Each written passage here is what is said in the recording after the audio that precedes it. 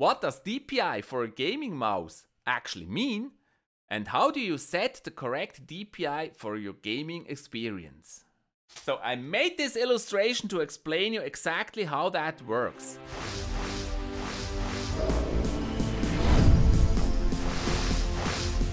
Have you ever bought a gaming mouse and wondered what DPI stands for?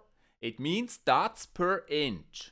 And an inch is 2.54 centimeters. And it basically means the sensitivity of the mouse. How many pixels will the cursor move when you move your mouse on the table? If you change that value on your gaming mouse, it will also change the speed of the cursor on your screen. A high DPI stands for a high mouse sensitivity, which is when you move the mouse just a little bit, your cursor on the screen will move a lot. However, it's not as precise anymore. Different DPIs are available and they range from like 400 DPI to in the 10,000s of DPI. What DPI setting is right for you? There's actually a way to calculate. So I made this illustration to explain you exactly how that works. Ta-da! So my daughter will assist me in explaining this. So to calculate this, we need three values.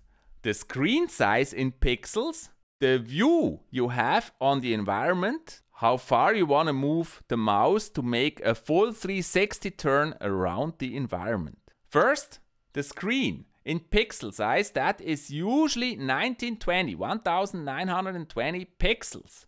That's your screen size. The second thing is your view.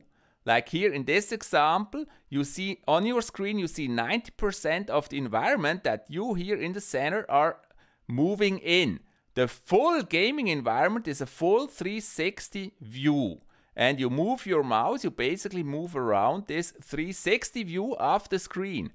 And then there is the mouse, and I put it here with this green line. You want to move the mouse. So here for this example, I just assumed that you want to move the mouse like 30 centimeters for a full 360 turn. 30 centimeter equals 11.8 inch because 1 inch is 2.54 centimeter. How you calculate this is you take the 1920 pixels and multiply this with 360 divided by 90, which is basically a quarter in this example, and that gives you 7680 pixels. That basically means a full turn around the environment will use 7680 pixels of your screen.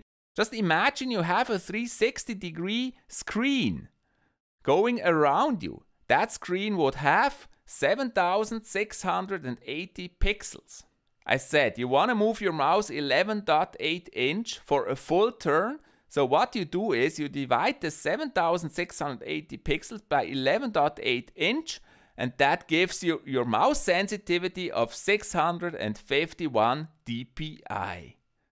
And that is the result. So with these settings, you set your mouse to 700 dpi and that is fully sufficient for what you actually want. And all you gotta do now is figure out what suits you best. Probably 30 centimeters or 11.8 inch for a full turn is too much. You gotta really figure that out. You also have to consider your view and your screen size and then put these numbers as you like and find your perfect match. Thank you so much for the help. So if you want to move the mouse less or more, or if your aspect ratio is different or your screen size is different, just change those values and find what's right for you. If you have a question, please put it in the comments and I will try to answer it.